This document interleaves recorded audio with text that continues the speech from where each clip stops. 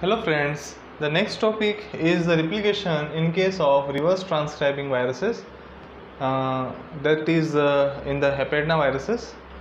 So in the case of Hepadna viruses the genome is partially double stranded and partially single stranded DNA.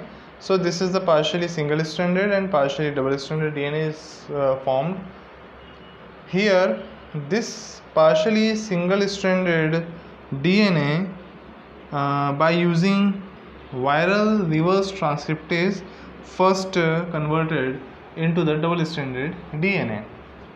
So this negative sense uh, double uh, single stranded DNA acts as a template and with the help of viral reverse transcriptase enzyme this partially uh, negative sense DNA is converted into the double stranded DNA by using viral reverse transcriptase enzyme then this all uh, procedure is takes place in the nucleus.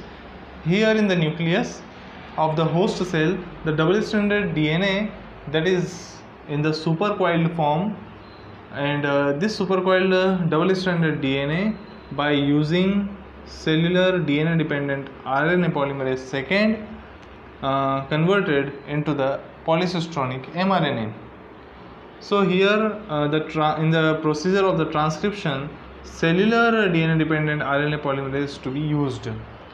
Then further the mRNA undergoes splicing and cleavage and forms monocistronic mRNA.